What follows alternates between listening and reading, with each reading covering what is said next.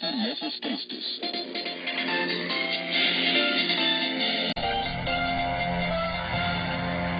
Estimados oyentes, comenzamos con los titulares del programa informativo de Radio Vaticano y Vatican News en este jueves 24 de marzo, memoria litúrgica, entre otros, de Santa Catalina de Suecia, hija de Santa Brígida. El Papa Francisco recibió esta mañana en audiencia en la sala del Consistorio del Vaticano a los hermanos maristas con motivo de su conferencia general.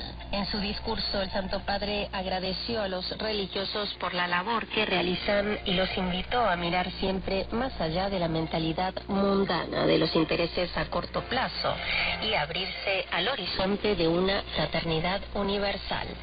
Se amplía la respuesta a la crisis humanitaria en Ucrania ante el avance de la guerra con Rusia.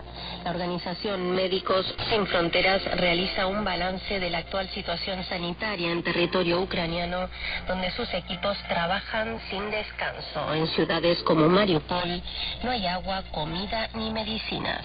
El 56 capítulo general de la Orden de los Agustinos Recoletos, celebrado en Roma, eligió el martes 22 de marzo a Fray Miguel Ángel Hernández Domínguez como el nuevo prior general. El religioso español, nacido en Madrid, estará al servicio del gobierno desde el 2022 hasta el 2028. En breve, al detalle, toda esta información desde la Ciudad del Vaticano los saluda Sofía Lobos en de toda la redacción. Buena sintonía.